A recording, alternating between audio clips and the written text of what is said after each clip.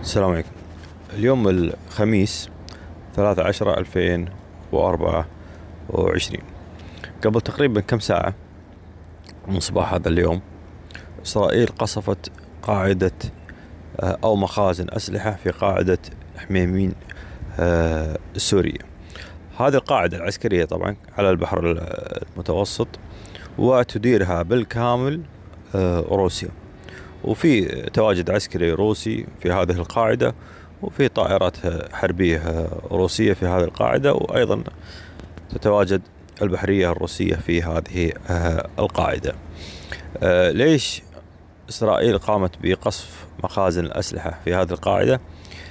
قبل أن يتم القصف كان في طائرة جاية من آه، إيران أعتقد اسمها آه، فارس أو قاص فارس. وفرغت شحنة أسلحة في هذه آه، القاعدة. هل يعني راح ممكن تصير حرب عالمية ثالثة إذا يعني سقط روس أو قتل روس في هذه القاعدة أو غيرها؟ لا ما أمور طيبة. لأن أصلا إسرائيل يعني من اليهود. اللي في إسرائيل في آه، يعني في يهود روس أو جايين من آه، روسيا. وبعدين أوكرانيا قصفت موسكو قلب موسكو. ما ما صار لا في حرب عالمية ثالثة ولا شيء. أمور طيبة. الخبر الثاني إن في خبراء متفجرات يقولون يقول إن الصواريخ التي أطلقت من إيران قبل يومين أو أمس تقريبا. لا قبل أمس.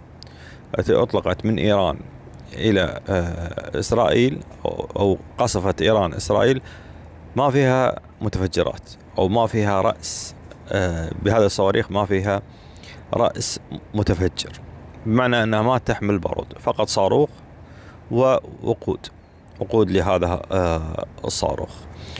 والإصطدام اللي اللي حدث في الأرض نتيجة إصطدام الصاروخ في الأرض أو آه، وقود الصاروخ في آه، الأرض. فلو تلاحظون إن آه، الصواريخ اللي سقطت يعني النيران أو سقوطها في الأرض أثناء أثناء سقوطها بالارض النيران محدودة. يعني ممكن خمسة متر وخمسة متر أو عشرة متر وعشرة متر تقريبا. فيقال إن هذه الصواريخ ما تحمل متفجرات يعني لو تقارنها أنت بالقصف الإسرائيلي للبنايات في سواء في غزة أو في لبنان يعني القذيفة يعني, يعني تنسف البناية من يعني أساس البناية وتسقط البناية حتى لو كانت 20 دور أو 30 دور. آه، فلو تلاحظ آه، الفرق ما بين القصف الإسرائيلي والصواريخ اللي نزلت على إسرائيل في خبراء يقولون ما فيها الصواريخ ما فيها رأس متفجر. معنى فقط وقود وصاروخ فقط تم اطلاقه أه، حتى أن بعض الصواريخ سقطت في إسرائيل ما ما حدث فيها انفجار.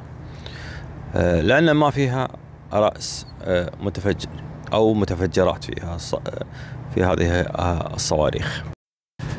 يقول خبراء المتفجرات إن صحيح إن الصواريخ كانت سريعة فرط صوتية وما تم اعتراضها أغلبها ما تم اعتراضها من الدفاع الجوي الإسرائيلي لكن سرعة الصاروخ تأخذ سرعة الصاروخ لازم إنك يعبي الصاروخ 90 فوق 90% يعبيه وقود عشان الصاروخ يكون سريع. فهذا راح يكون على حساب منه على حساب آه، المتفجرات. الامر الثاني يقول انه صحيح إن الصاروخ سريع لأن في كمية وقود وصاروخ فرد صوتي لكن الصواريخ أغلب الصواريخ اللي نزلت ليست دقيقة بمعنى إنها ما نزلت على يعني نفس المكان المحدد له. ممكن إنها تنزل بمسافة يعني كيلوين بكيلوين أو كيلو بكيلو. صحيح انها كلها قصفت إسرائيل لكن ما قصفت الهدف المحدد لهذه آه، الصواريخ.